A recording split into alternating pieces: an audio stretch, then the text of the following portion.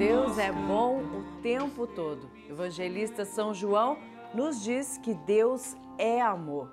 E é isso, é essa certeza que nos ajuda e alimenta o nosso coração. Graças a esse amor derramado que a gente vai vivendo, né? Um dia de cada vez. A gente vai vivendo e vai experimentando a vida, os seus desafios, aquilo que às vezes é tão complicado para nós. A vida é feita de fases. As fases quando a gente está lá embaixo, quando a gente sente que está no fundo do poço, quando tudo parece perdido, quando tudo parece não ter mais solução, quando as pessoas não fazem mais sentido, as coisas da vida não fazem mais sentido, quando a gente pensa que tudo está perdido e realmente não tem solução, a gente sabe que só em Deus a gente encontra essa paz. Só Deus é capaz de nos dar a água viva para matar a nossa sede. Aquilo que a gente busca tanto no mundo, a gente gasta tanta energia, a gente se machuca, a gente se perde a gente perde a nossa esperança buscando solução nas coisas do mundo, no trabalho, nas pessoas, nas coisas materiais.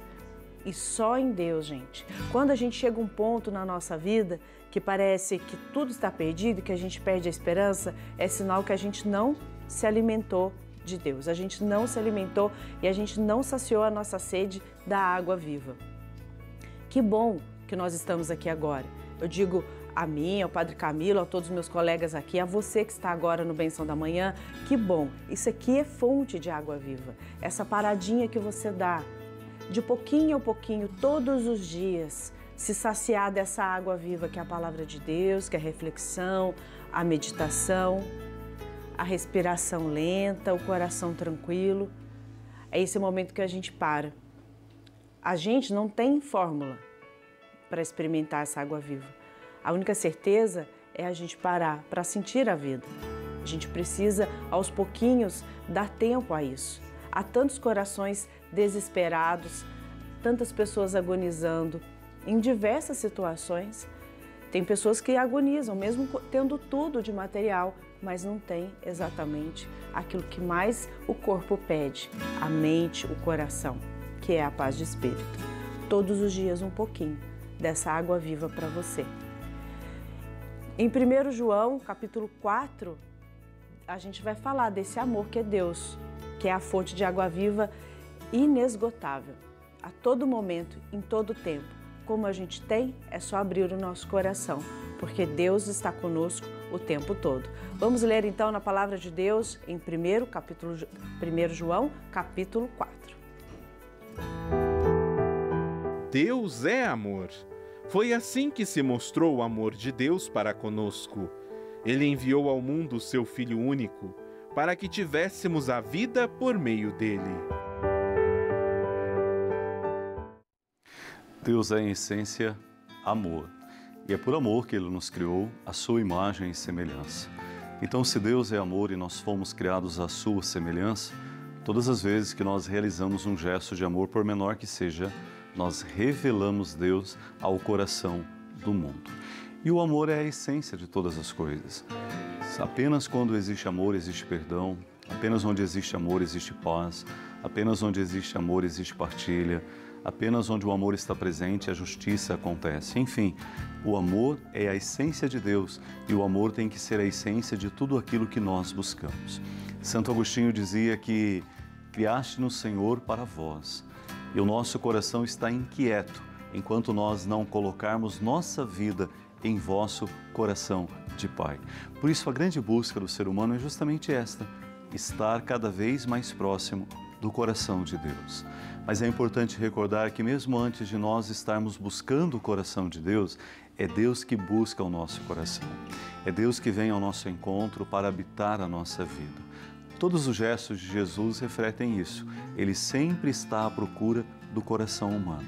Coração ferido, coração sem esperança, coração que ainda não tem fé.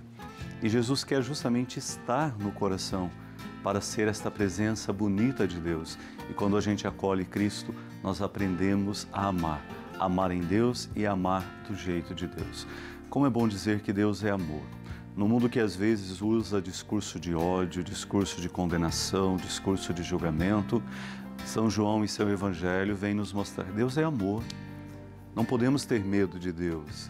Não podemos achar que Deus vai nos tratar com indiferença ou vai nos castigar só porque em algum momento a sua vontade não foi a prioridade em nossa vida. Deus é amor. E como precisamos cantar isso ao coração do mundo? Né? Que Deus é amor. E onde o amor se faz presente, nós sabemos que a vida vencerá. O amor nos dá esperança de vida.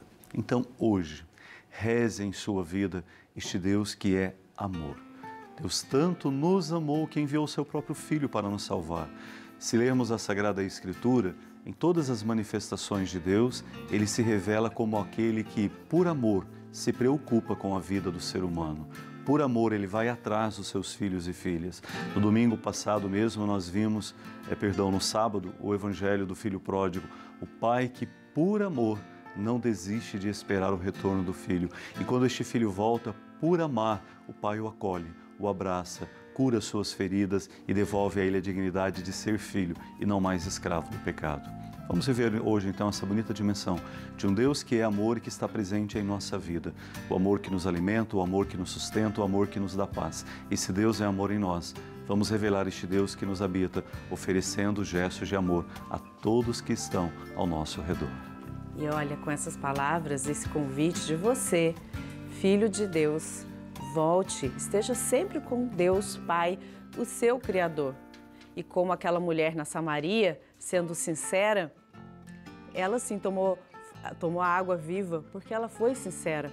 Seja sincera com Deus, seja sincero com Deus das suas aflições, da necessidade que você tem do seu processo de cura, do seu processo de paz no seu coração, de serenidade, de saúde. Pede a Deus e sem pressa, deixa Ele agir e vai aceitando, né?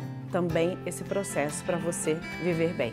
E nesse momento de oração, você pode risar, pedir a Deus que visite você, visite sua vida, olhe por você, por todas as suas preocupações, por tudo aquilo que você considera que você não dá conta. Seja você mulher com seus filhos, com seus trabalhos, né, com a sua casa, seja você homem, com, todas as, com toda a sua missão, com todos os seus compromissos, com aquilo que você mais precisa. Pede a Deus, seja sincero, fale com Ele, fale com Ele na sua maior naturalidade. Nós, seres humanos, temos essa formalidade às vezes de falar, mas para Deus você não precisa de muito, não. Se você só precisa ser sincero e desse tempinho para rezar. Rezar mais o amor de Deus. né? O próprio Cristo nos pede: permanecei no meu amor. Maria é a imagem bonita do coração humano que se revestiu do amor de Deus, permaneceu no amor de Deus e levou o amor de Deus como alegria para tantos outros corações. Olhemos então para Nossa Senhora e peçamos a ela que nos ajude a buscar o amor de Deus em todos os momentos, para que assim encontremos também alegria, força, esperança e paz. Em nome do Pai, do Filho e do Espírito Santo. Amém. Ave Maria, cheia de graça, o Senhor é convosco. Bendita sois vós entre as mulheres, bendito é o fruto do vosso ventre, Jesus. Santa Maria, Mãe de Deus, rogai por nós, pecadores, agora e na hora de nossa morte. Amém. Pai nosso que estais nos céus, santificado seja o vosso nome. Venha a nós o vosso reino. Seja feita a vossa vontade, assim na terra como no céu. O pão nosso de cada dia nos dai hoje, perdoai as nossas ofensas, assim como nós perdoamos a quem nos tem ofendido. E não nos deixeis cair em tentação, mas livrai-nos do mal. Amém.